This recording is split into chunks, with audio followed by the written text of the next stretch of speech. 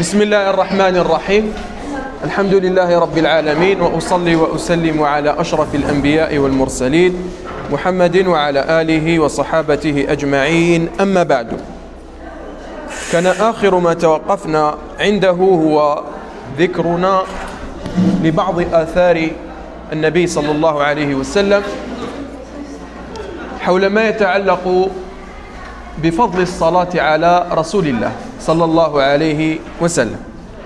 توقفنا عند الحديث الصحيح الذي رواه الدار قطني وصححه العلماء وهو قوله صلى الله عليه وسلم إن من أفضل أيامكم يوم الجمعة. فيه خلق آدم وفيه قبض وفيه الصعقة. فأكثر علي من الصلاة فيه فإن صلاتكم معروضة علي. هذا فيه دليل على أنك إذا قلت اللهم صل على محمد فإن هذا يصله بطريقة غيبية لا بطريقة منطقية عقلية. تقول لي إن العقل يستحيل ذلك. إن العقل لا يصدق هذا.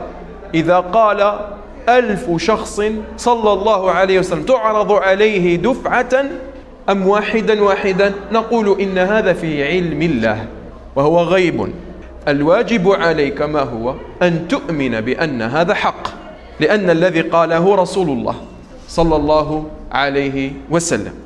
قالوا يا رسول الله وكيف تعرض صلاتنا عليك وقد أرمت؟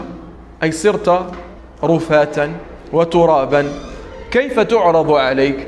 فقال إن الله عز وجل حرم على الأرض أجساد الأنبياء وهذا حق أيضا وهو واقع.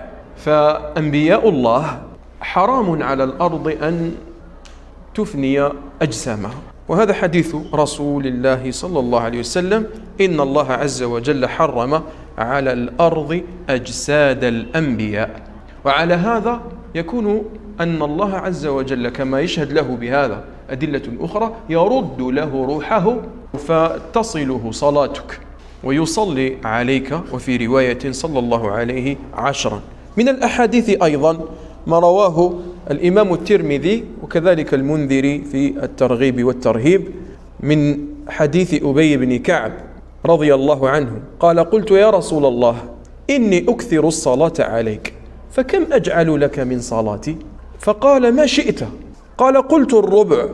قال ما شئت فإن زدت فهو خير لك. قلت النصف. قال ما شئت فإن زدت فهو خير لك. قلت الثلثين. قال ما شئت فإن زدت فهو خير لك. قلت أجعل لك صلاتي كلها. قال إذا تكفى همك ويغفر ذنبك. وهذا فيه عدة فوائد. أولها أن الصحابة الكرام حرصوا حرصا شديدا على الصلاة على رسول الله فكان هذا شغلهم الشاغل. وعليه نحن لا بد أن نأتسي به. فنجعل الصلاة على رسول الله تجري على ألسنتنا في كل أحوالنا. وأنت تدرس وأنت في السوق وأنت تمشي إلى البيت أو إلى المسجد في كل أحوالك تنبه وقل اللهم صل على محمد. قال ما هي النتيجة؟ إذا تكفى همك. فما هو جعلك يعني تهتم لأجله هذا يكفيك. إياه ربك. قال ويغفر لك ذنبك. وأيضا صح عن أبي هريرة رضي الله عنه أن النبي صلى الله عليه وسلم قال من صلى علي صلاة صلى الله عليه عشرا. وكذلك عن أنس من ذكرت عنده فليصلي عليه فإنه من صلى علي مرة صلى الله عز وجل عليه عشرا.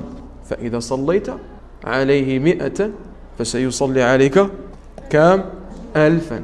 وصلاتك مهما كانت فإنها صلاة بشرية وتقصد بها كما عرفنا الصلاة على رسول الله وقلنا هي الطلب من الله أن يثني ويعظم عبده محمد صلى الله عليه وسلم في الملأ الأعلى. صلاة الله عليك ما هي؟ أن يذكرك باسمك في وسط الملائكة. فقط لأنك قلت بإخلاص اللهم صل على محمد. يذكرك ربك عشر مرات في وسط هم خير من وسطك. بين جبريل والملائكة وميكائيل وإسرافيل وكل الملائكة. يذكرك باسمك ويثني عليك ويعظمك. لهذا الصلاة على رسول الله فيها فضل عجيب. ويقول النبي صلى الله عليه وسلم من صلى علي صلاة واحدة صلى الله عليه عشر صلوات وحطت عنه عشر خطيئات ورفع له عشر درجات. فإذا قلت اللهم صل على محمد يكفر لك عشر معاصي ويرفعك عشر درجات. أي أنك يوم القيامة سترتفع في درجات الجنة لأن الجنة درجات. فلربما تصل الفردوس فقط بقولك بإخلاص اللهم صل على محمد. أيضا صح عن رسول الله صلى الله عليه وسلم أنه قال من صلى علي صلاة لم تزل الملائكة تصلي عليه ما صلى عليه فليقل عبد منكم أو ليكثر. فإذا قلت اللهم صل على محمد بقيت الملائكة تصلي عليك. انظر إذا قلت اللهم صل على محمد يصلي عليك رسول الله ويصلي عليك الملائكة ويصلي عليك رب العزة. كل هذا فقط لجملة في جزء من ثانية. اللهم صل على محمد. فالصلاة وهكذا يا إخواني نرى من المسلمين من لا يصلي على رسول الله في اليوم ولا مرة. بينما يزين الشيطان البدعة في هذا. ولهذا من البدع ومن مظاهر البدع التي هي منتشرة في زماننا أنك إذا تجادلت مع إنسان فأراد أن يسكتك أو يهدئك يقول لك صلي على رسول الله. هذا ليس من الدين. هكذا. بعض الناس يجادلك كيحب هو يهدر وش يقول لك صلي على رسول الله. استعمال هذا اللفظة من أجل هذا المقصد لا يجوز. وهذا الفعل لم يفعله الصحابة الكرام. نقتصر على هذا القدر حتى لا نطيل الله أعلم. صلى الله وسلم وبارك على نبينا محمد.